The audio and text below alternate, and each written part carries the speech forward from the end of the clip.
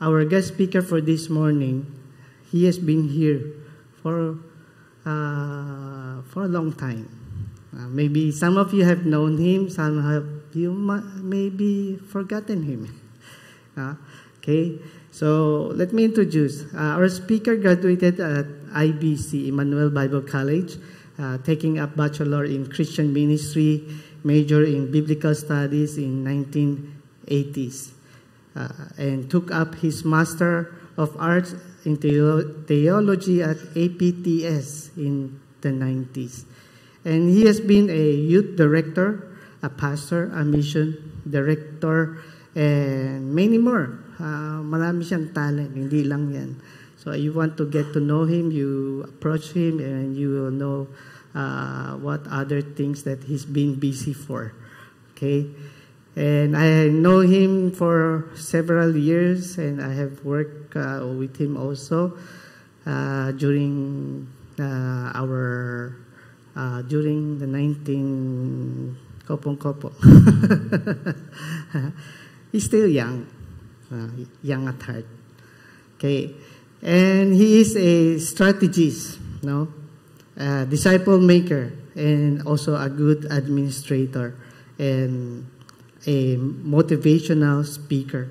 Uh, aside uh, from him coming here, he also brought his lovely wife.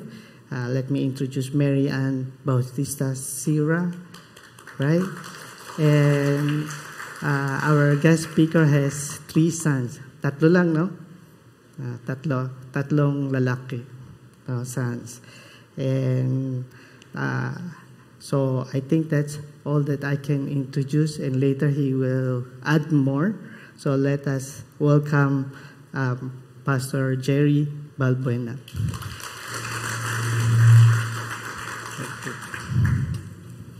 Thank you, Pastor James. Good morning. Wow, it's good to be back in Manila. uh, yeah, it was right. Uh, I was here. I was here like it was just five five years after Noah got off the ark. so I forgot. But uh, I've been around, live in Quezon City, and then Quezon City kicked me out. So we are now living in Dasmariñas in Cavite, uh, at least for my for our retirement. Now, if you want to know more about me, I cook good barbecue. That's, that's okay. Well, how should I start? I'm so grateful for your theme power to witness for Christ. That is really what is needed right now.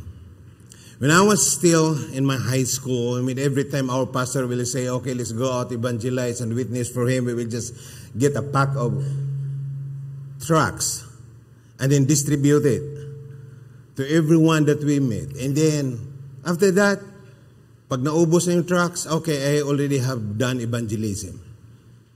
Not anymore this time.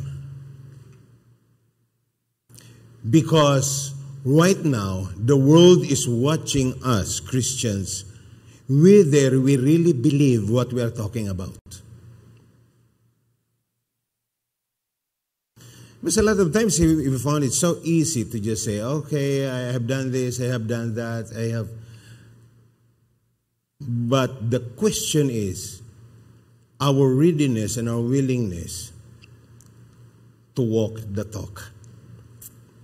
So, when Pastor James asked me, uh, scheduled me for this date to come, and he said, okay, what's the emphasis? And he said, it's all, more about evangelism, more about in, in connection with Pentecost. And I said, wow, that is great. That's powerful. And uh, I praise the Lord for this time that I can free my week, I can free my Sundays. Uh, actually, since since May, I have been free because I already have retired from the General Council and uh, the Assemblies of God, so I praise the Lord for that. Let's look to the Lord in prayer. Lord, it is always with gratitude in our hearts that we always come to you. Thank you for giving us the opportunity that we can come to your presence. Not only come to your presence, Lord, but even ask your Holy Spirit to empower us not only with the words, but much more, O oh God, in our lives, how we conduct our day to day activities. We also believe, Lord Jesus, that your words are always anointed. But right now we are asking, O Lord, for the anointing of your Holy Spirit, for the anointing from your word to flow freely to each of our hearts, Lord. That as we begin to look into your words, Lord, open our hearts and our minds. That we will not just be looking at this Sunday, Lord, and we say, okay, we had a good time. But Lord, as we move forward, we can always look back to this Sunday and we'll say, Lord, you have spoken to us.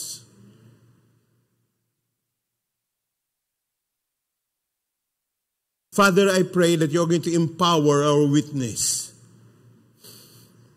But most of all, O oh Lord, make us worthy to be vessels that can contain your anointing.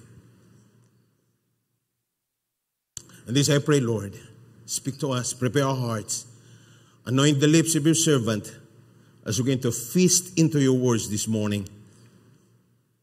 We will come out full. And this we pray, Lord, in Jesus' name. Amen. Amen.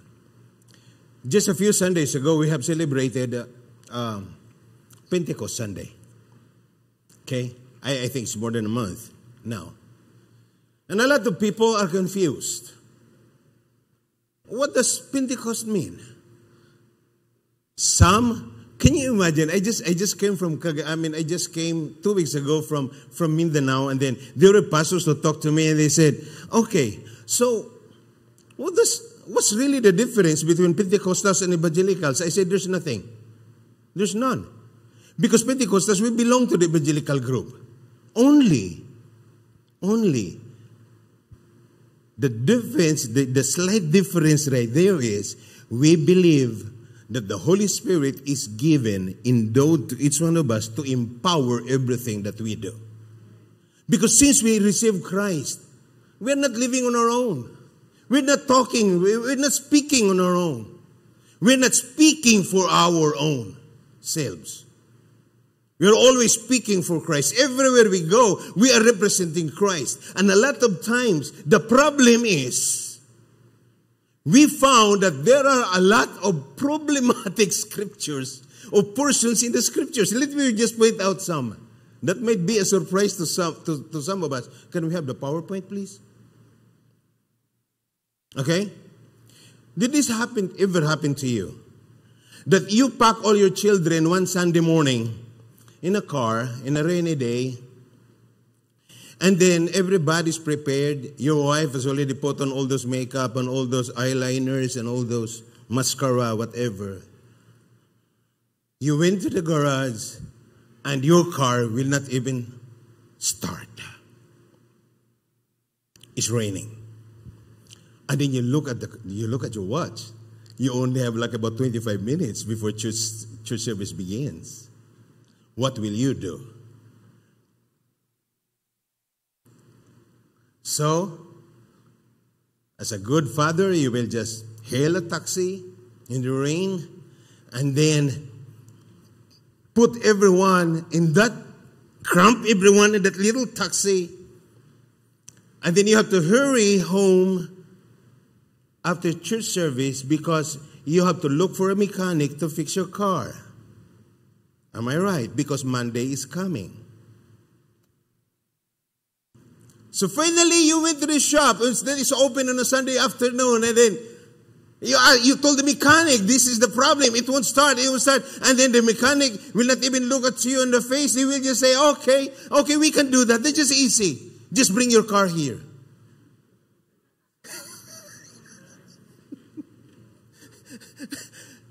a lot of times that has been the problem.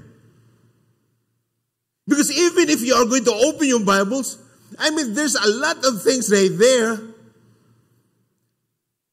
that are very, I will say, very impossible demands. Okay?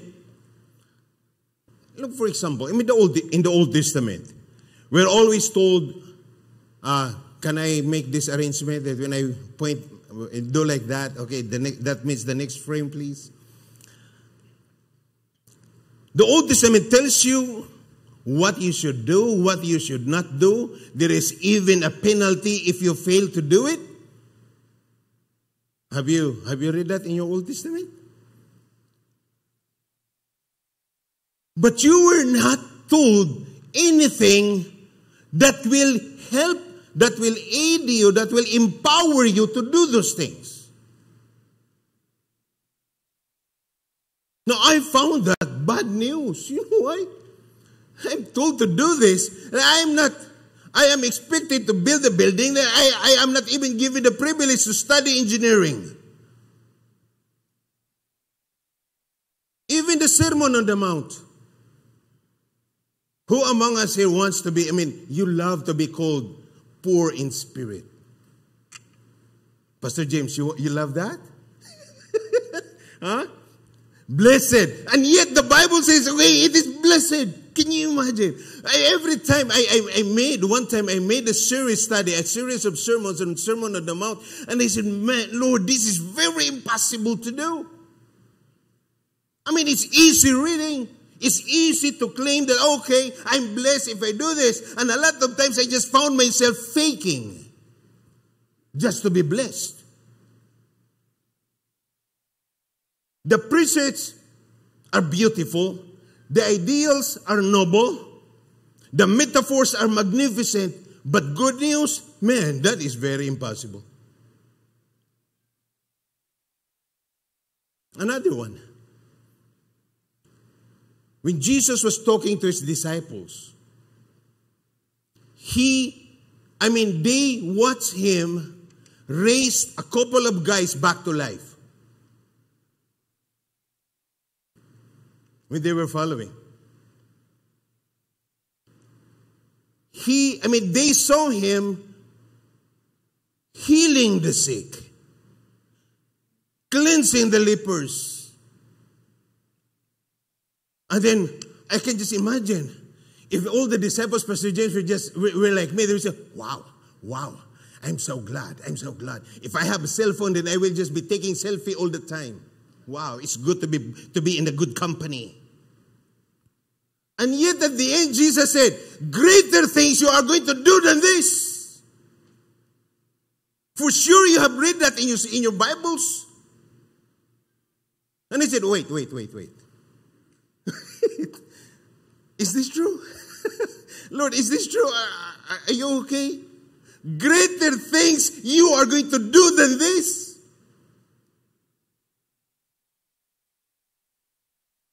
Well, by design, that is really what the Lord wanted us to do and accomplish in this life. Not just coming to church, not just singing in the choir, not just dancing for the Lord. No.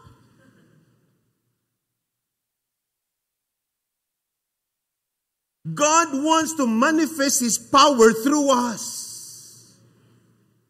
God wants the world to see how good it is to be in the presence of the Lord. But we are caught in between. Because the Bible says you are the salt of the earth and you are the light of the world. And yet, we are still in this, our humanness na kapag inubertikan ka, pwede bang magtagalog? I'm a Cebuano, but uh, I use a little, the, the, all the little Tagalog that I learned. Okay. Na kapag inubertikan ka ng motor at kinat ka sa harapan, nagagalit ka. Sabihin mo, hindi. And yet you are the salt of the earth. huh? Minsan nga binababaan mo pa nga sa bintana, binababaan pa nga ng bintana. Sasabihin mo pa doon, Hoy, kung gusto kang magpakamatay, sabihin mo na.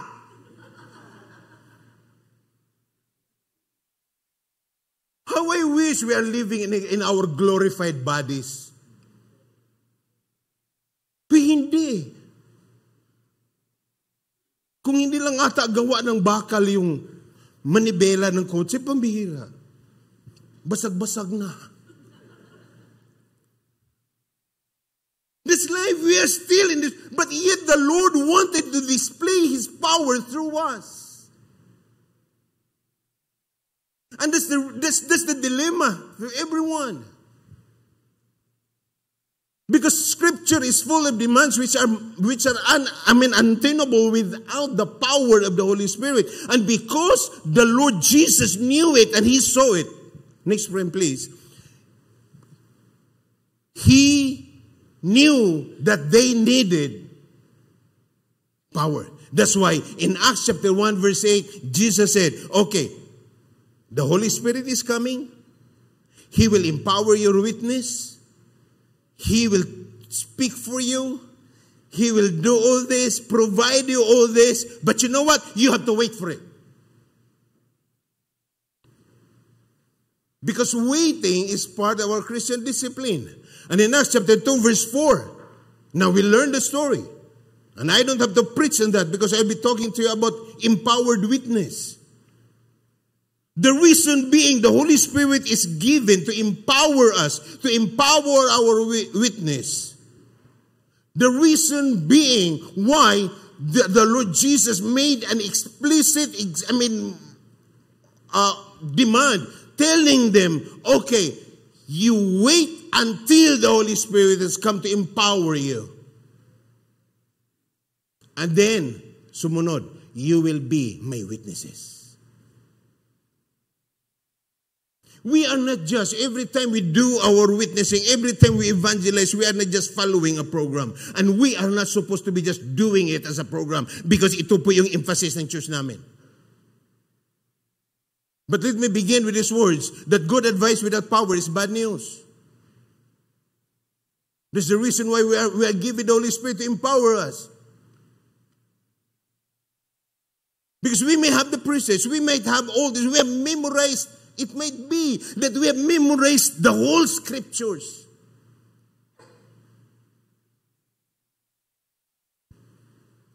But still,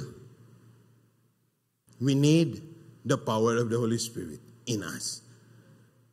I will say this that the Pentecost is not just a name, it is not just something that we can add to our ID that we are Pentecostals.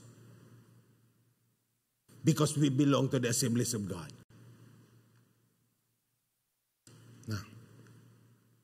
Some people have this misconstrued understanding that if they are singing charismatic songs, then they are Pentecostals. No. It's not that way. It's not that way. It is how often we depend on the Holy Spirit's empowerment in everything that we do. Let me read to you a, portion of the scriptures. In Acts chapter 4, in Acts chapter 4, it is recorded right there in starting in verse 32. Now listen, I will just read it to you carefully from the New Living Translation. That all the believers were united in heart and mind. I love that. I have been with the Assemblies of God for 42 years. And I have been in full time ministry for 37 years. But this is always what I believe that all the believers, and this is what I desire to happen, all the believers were united in heart and mind. Can you imagine that? Can you imagine the the, the, the, the explicit result when all the believers will be having one mind and one heart. And then it went on. It is Luke recording this one. And they felt that what they owned was not their own, so they shared everything they had. The apostles, the leaders, the pastoral staff, the ministry heads, they testified powerfully to the resurrection of the Lord Jesus, and God's great blessing was upon them all. The result was this there were no needy people among them. Wow. Why? Because those who owned land or houses would sell them and bring the money to the apostles to give to those, those who are in need. Now, let me just give you a little background to, to provide a matrix for this story. This is the second event that the Holy Spirit was manifested by, uh, their, I mean, it, it landed on people that they spoke in tongues. But it says right there that when the Holy Spirit came, the whole place shook. Okay? But the reason, the reason we are giving emphasis to the, the, the story behind it is after the day of Pentecost, every day, every day, thousands of people were coming to the Lord. Because on the day of Pentecost, for 50 days, there were a lot of foreigners who were coming to Israel to witness the festivities. And then the Holy Spirit came on the day of Pentecost in the temple. Okay? And there was an enormous revival that happened. And you know, whenever Judaizers or members of Judaism will come to the Lord, they choose to, they identified with the, the called cult, which is the way. And the leader of that cult, they, they just crucified 50 days ago. It was Jesus. They were being ostracized. Think about that.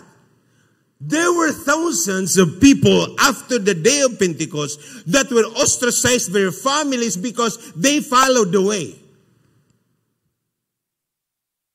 Here is a 50 day old church.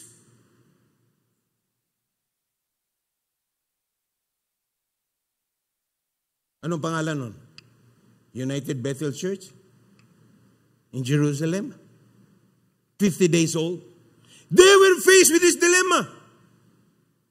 The apostles were always preaching, testifying to the glory and the power of the Lord Jesus. And here is a flock of people who are needing help.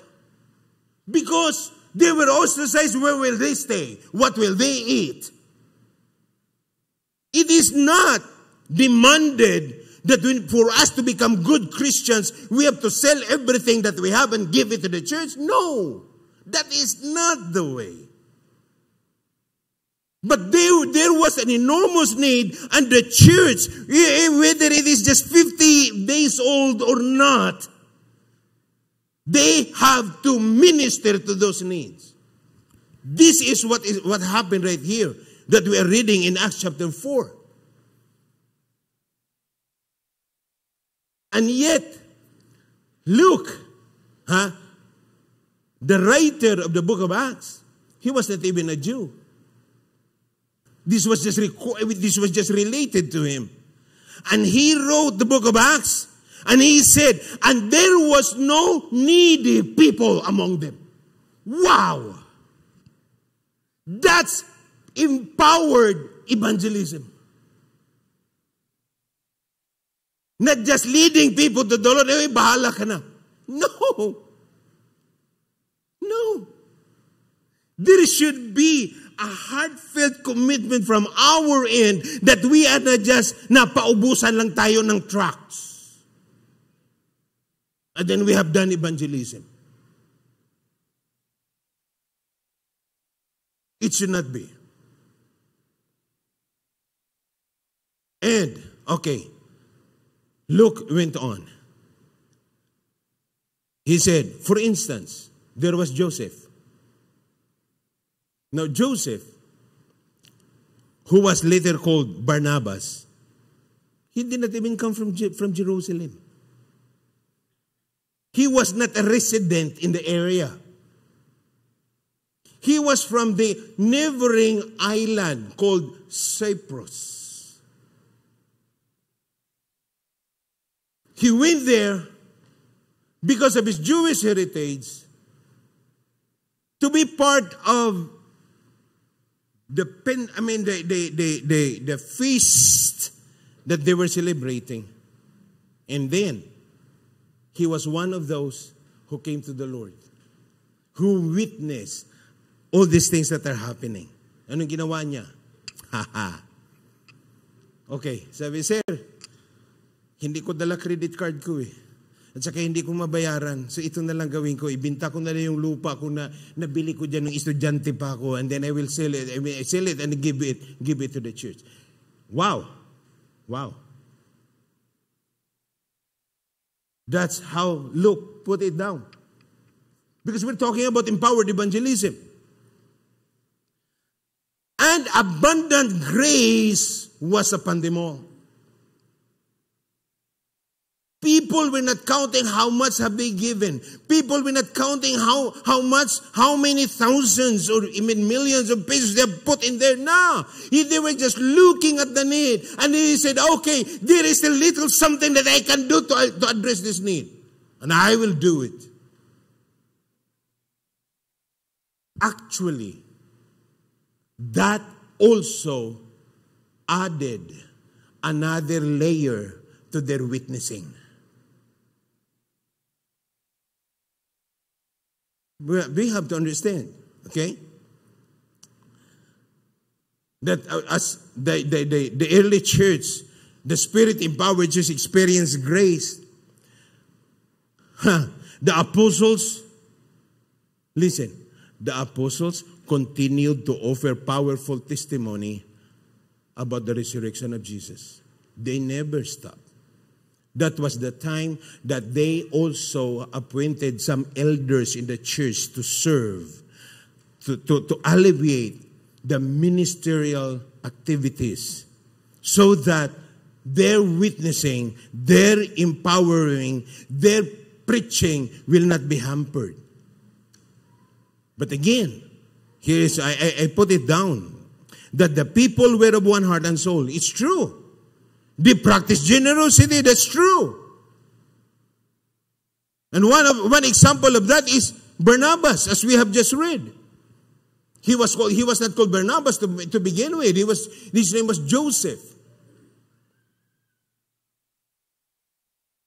They experienced that. You know why? That their witnessing their evangelism was so empowered not only by the power of the holy spirit not only on, i mean because they have they have i mean they are now ministering after the day of pentecost. No the truth is that when the spirit of god invades a life what inevitably happens is that our grip on other things is loosened while our attachment to people is strengthened Believe me, when Barnabas sold his property, give, brought all the money, put it in the apostles' feet, he was not being political. Why? During this time, they were not even voting for who will be the deacon number one and deacon number two and deacon number three. It's not in their vocabularies yet. it was not. But that's the truth.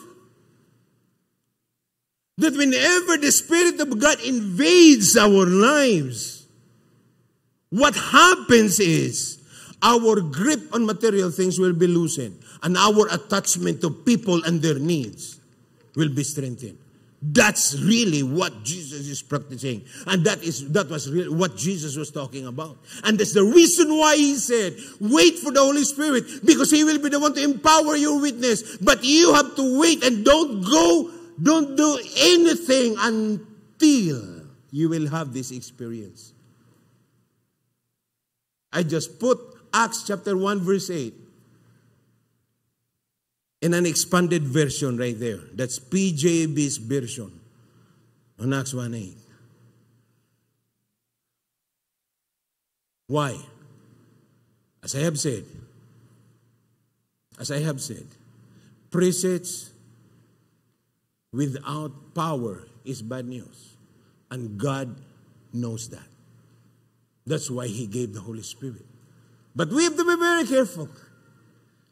Because in the church, in our communities, Christian communities, there are also deceitful people. In fact, I will say that deceit is one of those rust that is really eating the church. Yung pagpapanggap. Because if we have Barnabas in our church, there is also in Acts chapter 5 verses 1 to 10, there is, there is a couple named Ananias and Sapphira.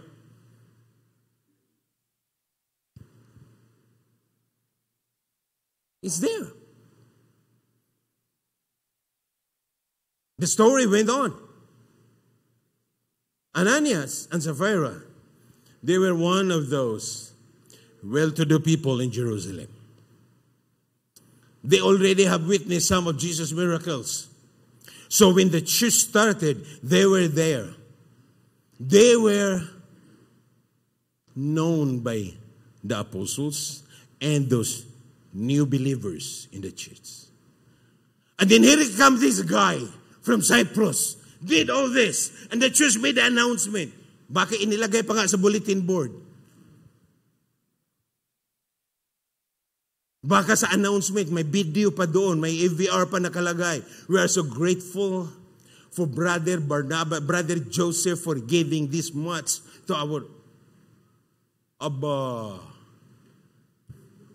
Even if this is a spirit empowered church, be very careful and don't be one of those like Barnabas and Sapphira. Because Barnabas and Sapphira, when they heard the news, when they, when they saw the AVR, when they, when they, when they read the posting right there in the bulletin board, nag-usap yung mag-asawa, sabi na, hindi tayo magpatalo. Tayo yung taga rito, pambihira naman. sabi, Okay, they sold a bigger piece of land and just they brought um, money to the treasury of the church that is higher, even might be double than what Joseph or Barnabas did. Okay? And then they pretended. This was the problem. They pretended that that was the full amount of the property that they sold. Believe me. My time is almost over, but uh, believe me. In the church, this spirit also exists. How I wish, how I wish that in UBC, there is a spiritual life scanner by the door as we enter. And then, tutunog yan. Tapos papasok doon sa computer. Sasabihin ka agad ni Pastor, ah, ah, ah, Brad, Brad, Brad, Brad. Huwag ka munang pumasok dyan sa sanctuary. Doon ka muna. You need counseling. Di sininghalan mo si Mrs. nung Martes eh. Nagsinungaling ka sa negosyo nung, nung Merkulis eh. Whoa, how I wish. But you know what? Now, what I'm saying is, we're talking about empowered evangelism, and I will I will talk about that in the next five minutes before I before my time is up. That the church is, I mean, God is challenging us. And the decision is always on us. That's what, that's what Peter told Ananias about. He said, if you're going to read chapter, chapter 5, verses 1 to 12, Peter said, Niyas. Eh, Ananias eh. Di ba anong palayaw ni Ananias? Niyas. Pangit naman sabi mong an. Oh, Brad na lang. Brad! Pabira ka naman. Ba't ka naman napadala doon? Hindi po ba? Isn't it that the whole property was yours? Nobody was demanding that from you? Selling it or not, it was your decision. And even when it was sold, the money was still yours to decide whether you have to give it all or not. But why do you have to deceive people for causing them to believe that this is the full amount? You could have been honest before God. He said, okay, you sold your property and you give a portion. But the reason, be, the, the reason being is because somebody, Joseph, did it first. He sold his property, small as it was, but he brought the whole, the whole amount. At ayaw mo magpatalo. Brad, diyan ka nagkasala.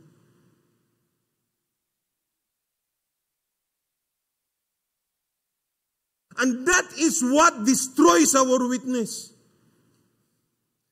That kind of a spirit. And I will say that the church suffered a lot because of that.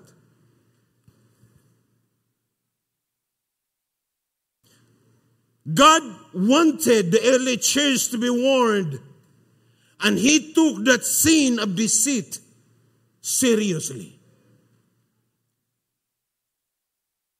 Okay? Because, uh, forward please. The next two frames. There is something about sin of deceit that God especially hates.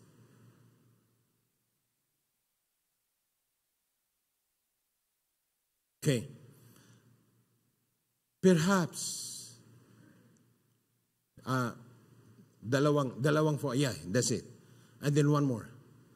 There you go. Perhaps that's because deceit is especially destructive to the fellowship and unity of God's people. Whenever unity is destroyed and whenever the fellowship is destroyed, our witness is destroyed. Because the people who are reading our lives, the people are observing us, they are not going to go to the, I mean, they are not going to go anywhere and post something, but they will just say, ganyan bang Kristiyano?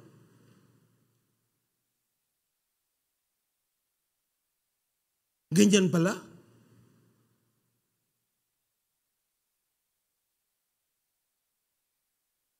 And this is especially prevalent in churches. The next frame, please. The, do you know the reason why? As presented right here in Acts chapter 4? Because we have such standards. We, we have, the church have such high standards. Even without demanding it, we know that if we are Christian, you should not do this, you should not do that. You should not do this. Ganito dapat. Because of those standards. And Joseph or Barnabas raised that standard. Ananias and Sapphira notice it as well. And they allowed and as I mean, Peter was right. He had, he crafted the right words. Why did you allow Satan to deceive you? Well, we often wear a mask. Look at this. We often wear a mask of to hide our sin as we come to church. That's uh, one click. Then another one. And we might be struggling with problems in our homes, but we hide it. Why? Eh, diakono pa naman ako eh. Leader pa naman ako. Baka malaman ng iba.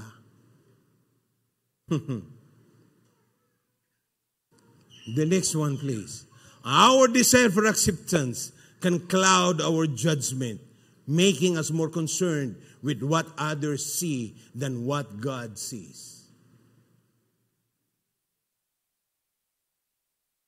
Folks, this might be different than what we expected about witnessing. But we already have received a lot of trainings on how to witness, how to evangelize, how to use the right words. There are people who come up with evangel, evangelic cube. There are people who come up with some stories. I mean, when, I was still the National Youth Director, I mean, we came up with a lot of well, a lot of stuff about evangelism, leading people to the Lord. I will not delve into that. I want to delve. I want to dwell on the idea that there are things that Satan is still winning is because he kept us from being fruitful.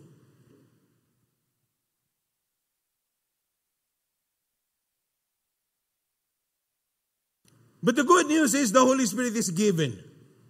The good news is the Holy Spirit is there to empower us. The good news is the Holy Spirit is there to give us the right words. The Holy Spirit is there to empower us without attitude when we are struggling with ourselves.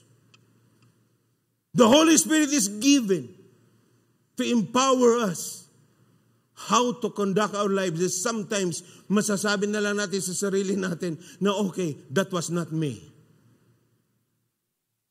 And we call it God ordained moments or kairos. Church, we are now living in the end of time. Those things that we read, whether it is this, the writings of Paul or from the book of Revelations, are really happening now. Without a doubt. This generation, I believe, this generation might be the generation that will welcome the second coming.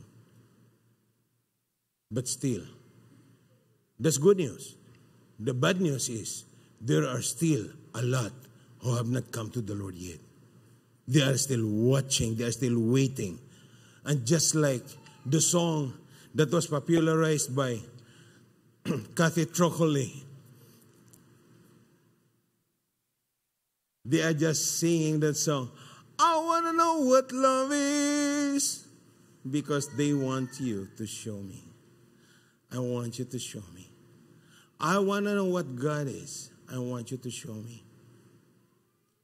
You're telling me that Jesus loves me. One of those secular singers who's singing that song, and I heard it on TV.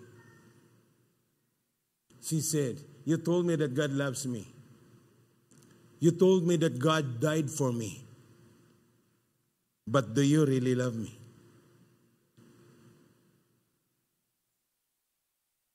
Talk about empowered evangelism, that's it. Talk about empowered evangelism, we have to be very careful that we can easily slip into sin. So, how to, I mean, to empower our witness, number one, we need to take sin more seriously.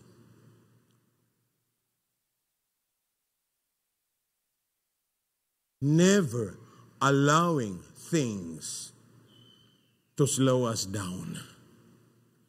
Never allowing that we will just be swallowed by programs and not our hearts. Our hearts are not in it. Second, we need also, we need to cultivate sensitivity to the leading of the Holy Spirit in our lives. The Holy Spirit was given at Pentecost not just to identify us from the rest of the evangelical world, but the Holy Spirit was given to empower us for our witness. And thirdly, let me say this we need to develop relationships in which we can be open, we can be vulnerable.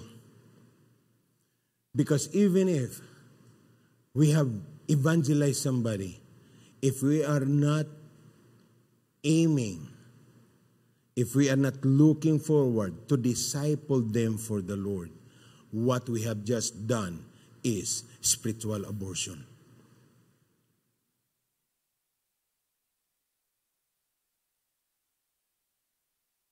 I think it is now time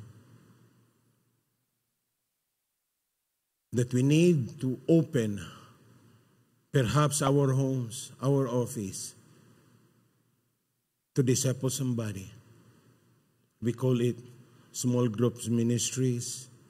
We call it discipleship groups. However you want to call it.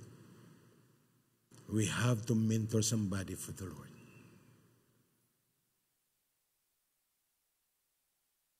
If we are the Esthers in this generation, the reason why is because there was a Mordecai that was discipling us.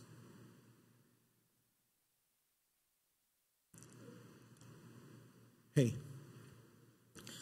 don't just have fellowships or gatherings. I mean, I'm not saying that there's something wrong about it. Ask the Lord, starting today, whom you are going to mentor, whom you are going to disciple for the next six months.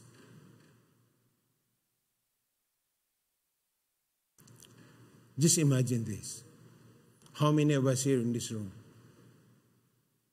In the next six months, we will be mentoring at least two people, all of us. How many people will be there six months after filling all these seats or these chairs?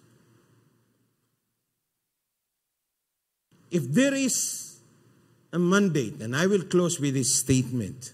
If there is a mandate that Jesus left with his disciples, it was this Go into all the world. Right? What about if I will tell you that the action word there is not go, but the action word in that statement is that as you go, make disciples of all nations. Because that is really what it means in Greek. That is really what it means when Jesus said it in the original text. That as you go, make disciples, mentor them, lead them to grow. Don't just lead them to the Lord, don't just lead them in sinner's prayer. But lead them to grow in the Lord. Now, Pastor Jerry, well, I am not trained for that. Now, you don't need a training for that. Be yourself. Don't be like Ananias or Sapphira. Be like Joseph or Barnabas. Train somebody, empower somebody, and witness the exponential growth that the Lord will pour into us. Can we all stand, please?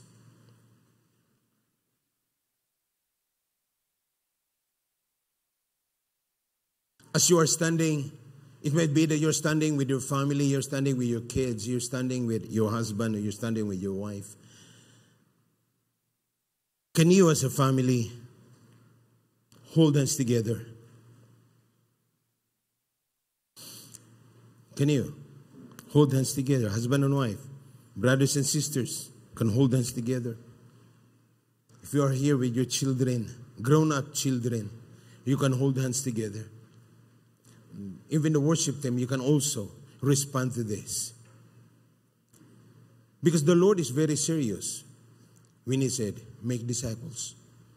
Because that is the flip side, that is the other side, that's the end of evangelism. That as you're holding hands together and standing before, I mean, in the Lord's presence, I want you to commit to the Lord your time and then ask the Lord that He will give you people that you can mentor in the next six months, just in the next six months, just before December. Can you do that? Can you do that? Can you, whenever the Holy Spirit will lay a name, a friend, might be a colleague, might be a brother or a sister, might be your parents, might be your children. If the Lord will drop a name, can you mention that as you pray, as you make a commitment before the Lord? Now let's do it.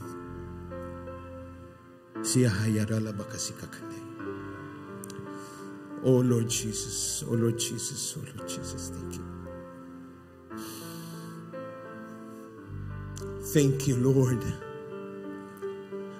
Thank you, Lord, for giving us this opportunity, oh God, to reflect on your words.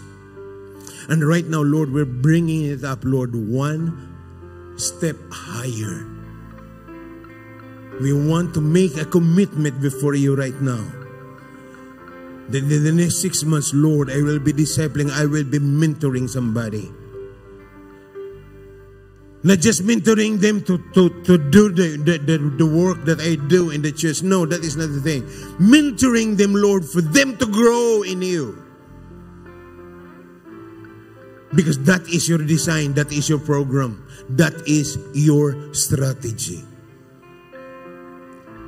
For all the students right here, Lord, I pray that you need to lay a name or names of our friends and our classmates in school that we can lead and disciple for you.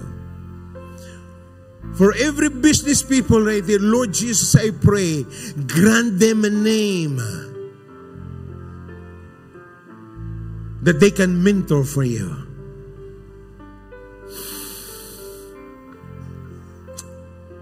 For housewives, Lord Jesus.